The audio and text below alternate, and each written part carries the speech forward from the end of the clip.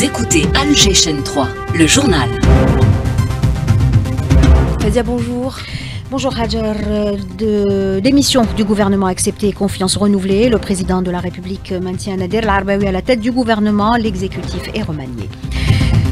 Relations algéro-américaines, la sous-secrétaire d'État à la sécurité met en avant l'importance du partenariat entre Alger et Washington et l'engagement des deux pays à renforcer les libertés et les droits de l'homme. Soutenir l'innovation et l'entrepreneuriat l'Algérie en marche vers une économie durable et diversifiée, c'est en substance le message du président de la République à l'occasion de la Semaine mondiale de l'entrepreneuriat. Le projet de résolution sur l'arrêt des violences au Soudan passe à la trappe. L'Algérie appelle à une condamnation publique et ferme des ingérences étrangères dans ce pays. Au moins 76 martyrs dans quatre nouveaux massacres à Raza. L'Observatoire euro-méditerranéen des droits de l'homme dresse un tableau noir de la situation dans l'enclave. Monoxyde de carbone, les spécialistes tirent la sonnette d'alarme sur les dangers des détecteurs de gaz brûlés non conformes. Des mesures sont prises pour lutter contre ce fléau. Et puis sport football, mise à jour du calendrier de Ligue 2, le RC Kuba et le SM El Harrach tenteront de remporter leur match en s'imposant respectivement euh, devant l'ASMO, euh, l'ASMO et l'AS Madame, Monsieur, bonjour et bienvenue dans cette édition. Nous vous le disions en titre, le président de la République remanie le gouvernement. Abdelmajid Tebboune avait reçu dans la journée le Premier ministre qui lui a remis la démission de l'exécutif, démission acceptée par le chef de l'État qui a reconduit Nader Larbaoui à son poste après lui avoir renouvelé sa confiance. La nouvelle équipe gouvernementale combine continuité et renouvellement, sa composante avec Hajar Masoudi.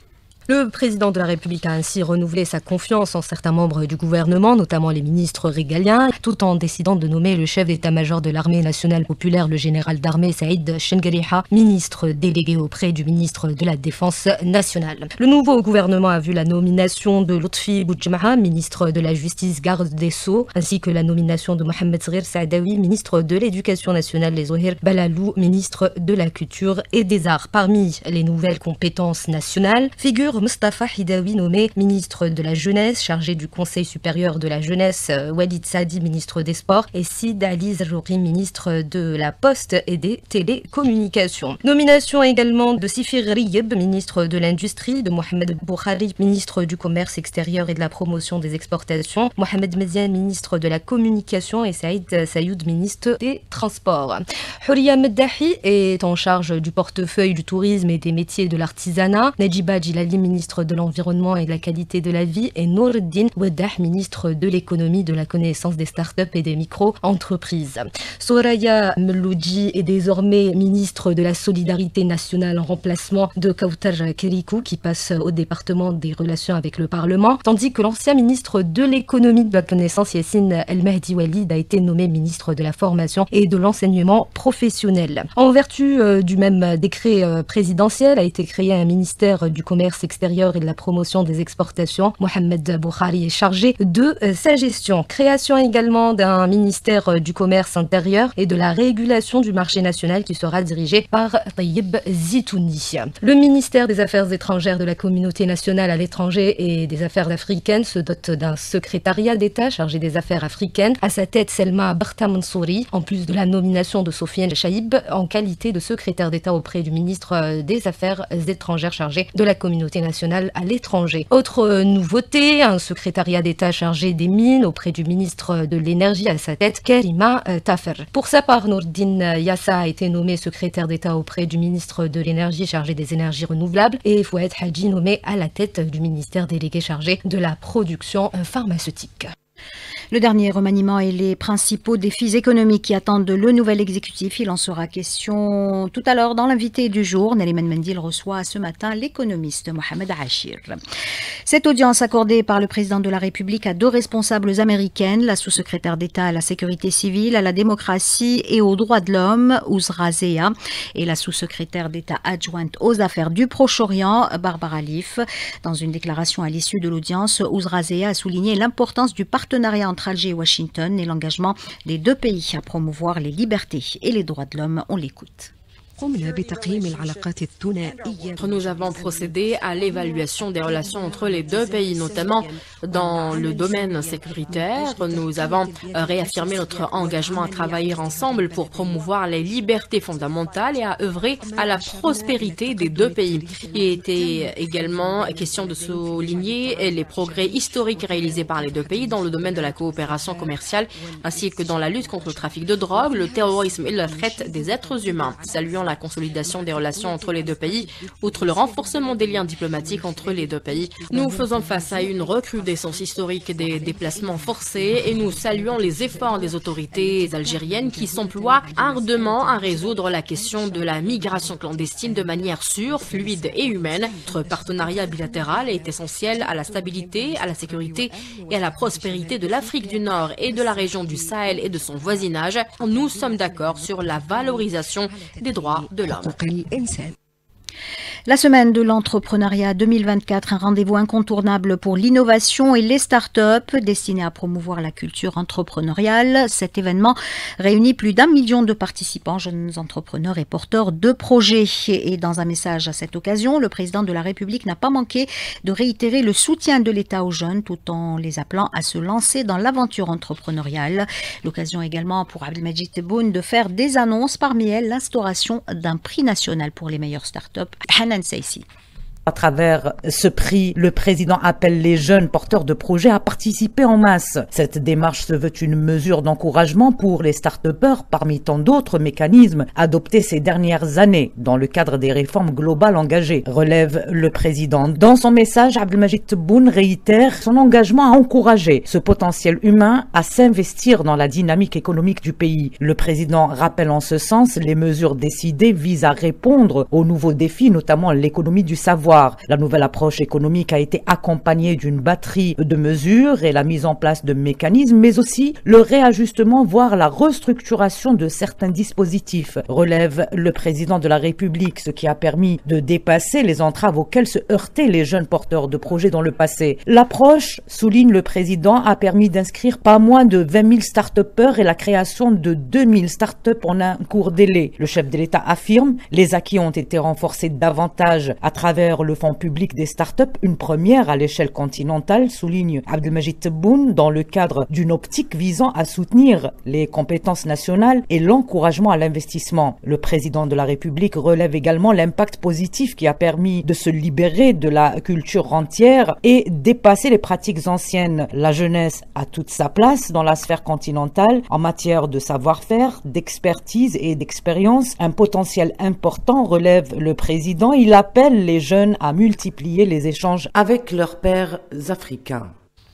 Et cette semaine de l'entrepreneuriat permet de mettre en avant les compétences nationales, notamment dans le domaine de l'intelligence artificielle. Amina Bjawi, notre correspondante à Tlemcen, en a rencontré quelques-uns.